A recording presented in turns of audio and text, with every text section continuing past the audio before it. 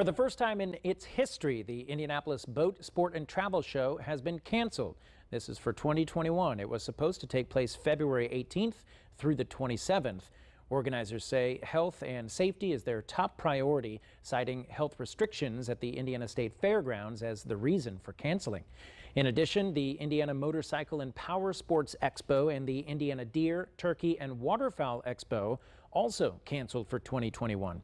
All the events are still scheduled to take place in 2022.